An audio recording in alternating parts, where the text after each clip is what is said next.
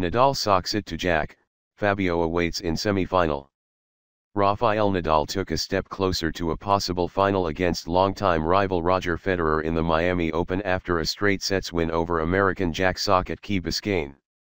The Spaniard's forehand was ominous as he neutralized Sock in 1 hour and 22 minutes. The 30-year-old Spaniard has never won in Miami despite being a four-time finalist and he expects plenty of work to get past Fognini and make it a fifth appearance. We know each other very well. He has beaten me a couple of times and so it will be a good test. I will need to play my best, said Nadal.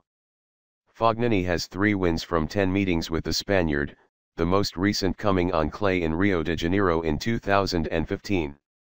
The 29-year-old world number 40 showed plenty of confidence as he took the game to his Japanese opponent from the outset. It was the Italian's first victory in three tries over Nishikori and his first Masters Series quarterfinal win since 2013, when he reached the last four in Monte Carlo. Nishikori earlier said he had not felt in top shape for the contest. I wasn't 100%, physically, I mean, it was tough conditions for me, he said, referring to the heat on the mid-afternoon center court. But it was the same for him. He was playing a lot of long matches, but I think he still played good enough to beat me, he added. Fognini, cheered on by his friend, former Italy footballer Christian Vieri, said he had come through a demanding test. It wasn't easy and I was just focused on my game.